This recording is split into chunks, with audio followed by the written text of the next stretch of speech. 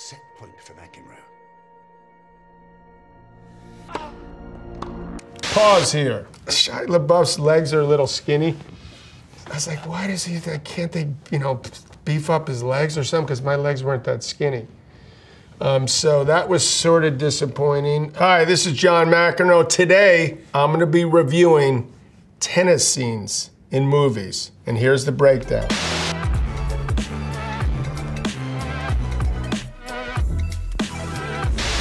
Battle of the Sexes. Here we go.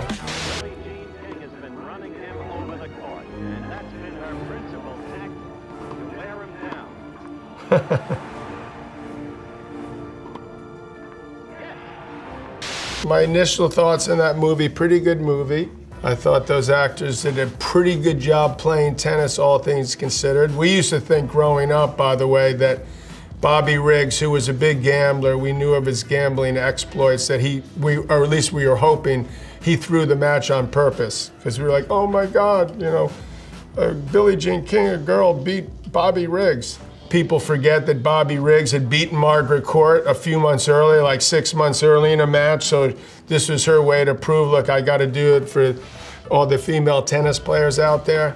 I became a father later, obviously, but I had four girls, so uh, and two boys, and so from that uh, aspect alone, I really sort of empathized and related, and was happy that, as it turned out, Billie Jean ended up winning that match. Although I've had to hear it for the last 25 years that Serena would have beaten me. So don't like that part, but besides that, pretty darn good movie. Tough to recreate uh, the action on a tennis court. All in all, maybe a little bit slow motion, but that's sort of the way we played then, I guess. Uh, we did have, only have wood rackets, so I'd say they did a pretty good job all in all. I got a soft spot for this one. Borg versus McEnroe.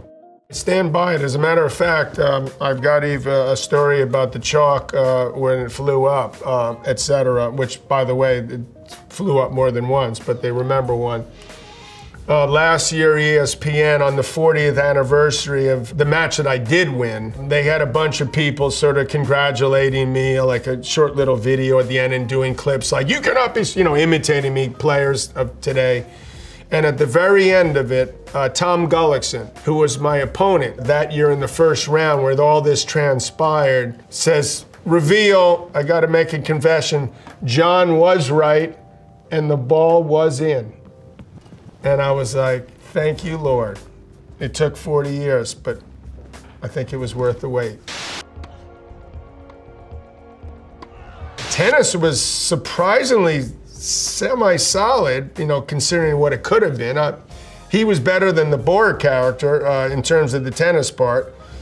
I had a question. I was like, why is this? I mean, and I know we're not, you know, Borg was one of the greatest athletes ever and super fit and stuff, but we weren't that radically different the way we looked. And you know, this other guy, whoever played Borg, was like this, you know, Viking god and unbelievable, doing you know pull-ups, you know, with one finger.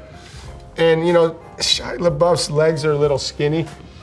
I was like, why does he? Can't they, you know, beef up his legs or something? Because my legs weren't that skinny. Um, so that was sort of disappointing. Um, again, you can see in this movie, um, the tennis part of it is difficult to duplicate, uh, very difficult. It was sort of cool because I know Bjorn's son was in it, played his son when he was um, younger, when he had allegedly anger issues, which is hard to believe with Bjorn because you never saw him do anything. But I guess at one point he got mad. And then um, there was a couple things in the movie also that ended up where you're like, did that happen? Because I don't think it happened. I'll, I'll, tell you one in particular. This last story to this. We had uh, the closing scene in the movie. I'm watching this movie. I hadn't watched it. I think I was on the plane somewhere. And lo and behold, there's this scene at the end where we played Wimbledon and uh, the next morning we're at the airport and we just happened to run into each other. Didn't happen.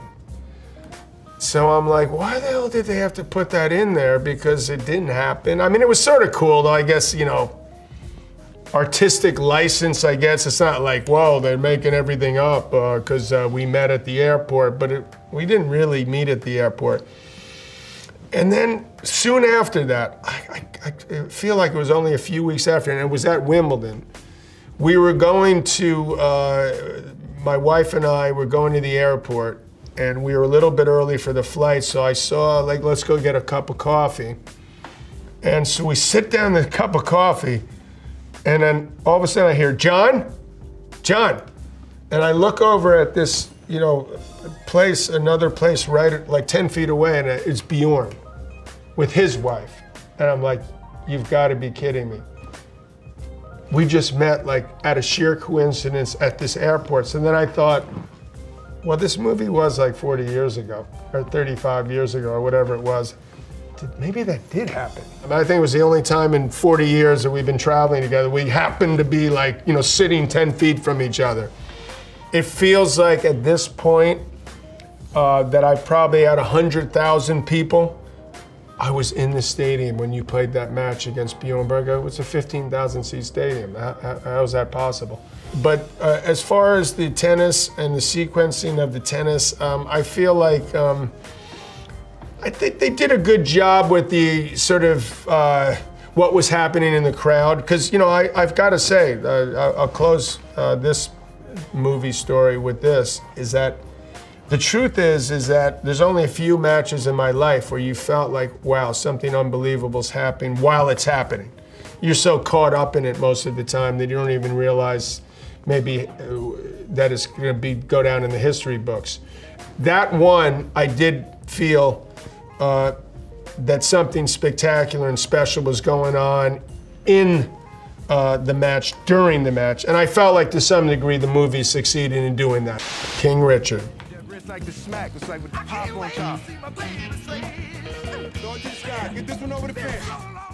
This is unquestionably, to me, the best tennis movie I've ever seen. I hate to say that since there's one Borg versus McEnroe. But this story is a story that comes along like literally once in a hundred years. The idea that uh, Richard Williams could watch an old friend of mine, actually, Virginia Ruzici, who was a French Open champion in 1978, I believe it was, receive a check for $10,000. I mean, you know, and, and say, decide at that time, my two youngest girls, I'm gonna have two girls. Not only, I haven't even had them yet. I'm gonna have two girls and I'm gonna make not one, but both of them, you know, legendary tennis players. You'd be like, very funny. Tell me another story. That's a nice dream. Fast forward a little bit. I'm gonna fast forward a little bit. The clip where uh, my coach at that time in 1989 says to me, we got these two young girls coming over, and they're going to be the best players in the world. It won't take but a minute to watch them hit a few balls. Yeah, I'm sorry, I'm not taking any juniors right now when we were in the well, middle of a very serious practice. Nothing. Uh, Mac, Pete, oh, tough break at Wimbledon. I see what happened to you, Mac. They trot on over, and here's Venus and Serena Williams uh, as little girls. So I was there. I said at the time, all right, let's see what you got. Obviously, what am I gonna walk away and not see what they got when they've come over? Come on. But for some reason, I had to be the bad guy in this and be like, ah, forget it. I can't handle like stopping practice for 10 minutes. Are you kidding? I love stopping practice for 10 minutes. They came and I was like, okay. It was one of those where it was like, call me in 10 years. They obviously look like they're tremendous athlete, but this story, you know, tough Compton, California. You know, what are the odds of this? When he said, God, it was probably eight years later when Venus was starting to win, he goes, You know something? Venus Williams is great, but her younger sister's going to be even better. And we were like, We'll have a good laugh about that one too. Serena Williams is the greatest athlete, female athlete, I, to me, I've ever seen in my life in any sport. And she's up there with, you know, Michael Jordan and Tom Brady and Billie Jean King and, you know, the icons of icons.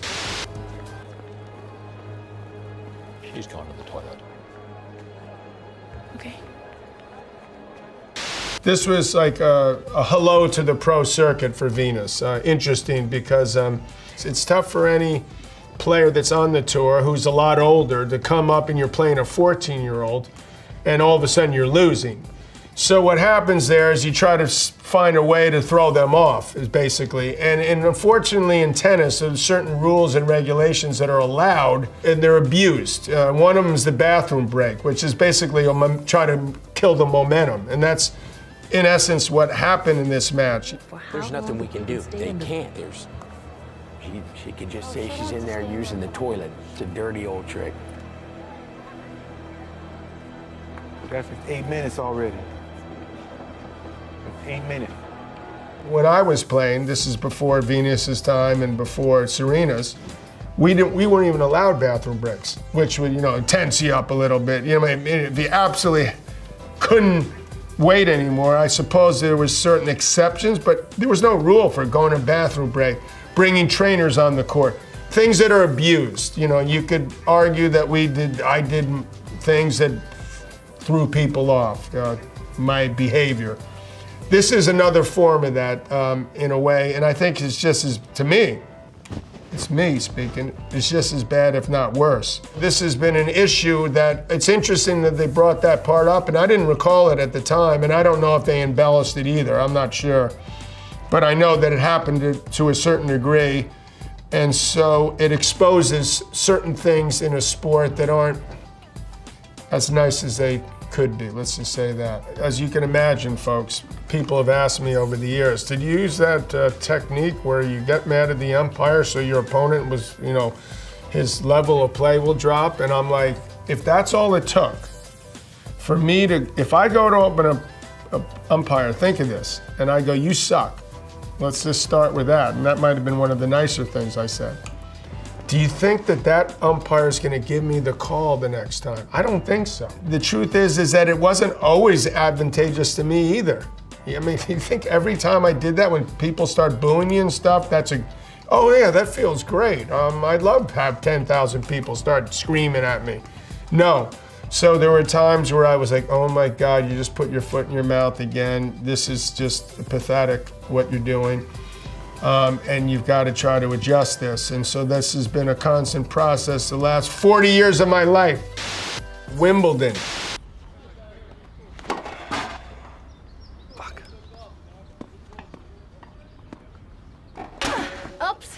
Sorry, wrong court. That's a drill, actually, you know, hit a, co a cone or a, uh, a can of ball, whatever it is that we try to do when you hit shots on a with the serve. So that is something that uh, they recreated accurately on a court because certainly you want to be able to hit your spots. That's important. I'm not sure I would have done, with all due respect to Kirsten Dunst and Paul Bettany there, um, who are very fine actors. A little bit difficult to recreate like the serve effectively, realistically. I would have tried something different had I been the director of Wimbledon. I remember way back in, um, God, I think it was 1984 or 5, and I did a video, a tennis video with my arch nemesis, Ivan Lendl, and I believe at the time we were number one and two in the world. And it was something along the lines of, you know, filming something to inspire people to play tennis to music.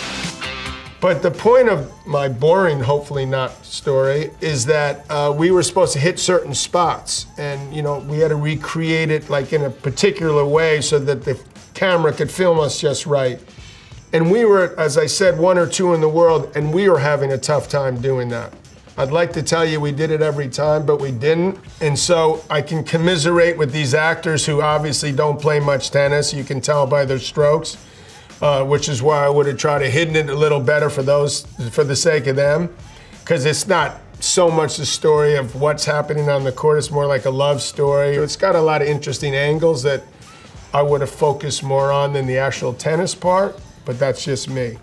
Hit this one, and I'll sleep with you. oh, so sorry. Too bad. You could have used the workout.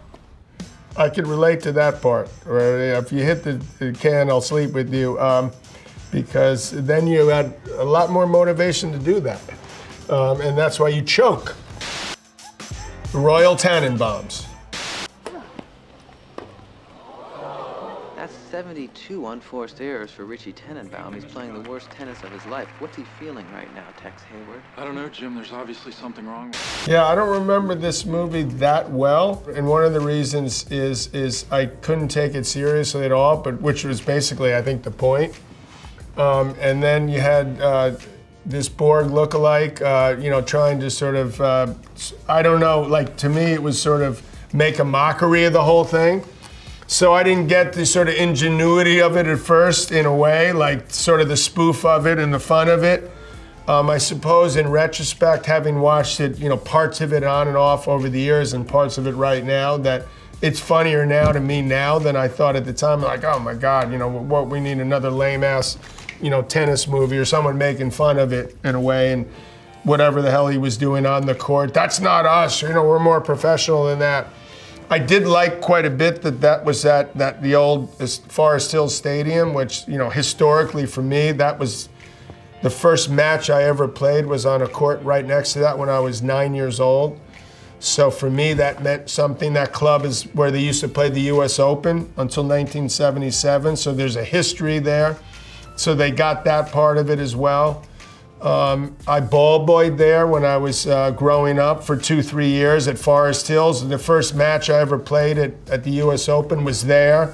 So that you know, money memories flooded back for me just as a kid growing up there. What that meant to me, even though it didn't have much to do with what they were trying to pull. So I know Wes Anderson. He's a nutty guy. I don't know him, I should say, uh, but I know from what I've seen, he definitely has a different take on things. And certainly, um, if he was looking to get a different take on uh, tennis, he certainly succeeded. Yeah, I find it like interesting that um, it's sort of uh, ahead of its time in a way, because now you know all we're talking about is mental health in a way, and sort of I'm not sure you know if if, if it's a combination. Maybe he's trying to thread the needle in a way between having fun with that, but then, you know, how do you deal with it if you see it and if someone does something crazy? He's like tapping out before your eyes, and it's like, you know, how do you deal with that? It brings back memories for probably me in certain ways when I was losing it for my opponents to, you know,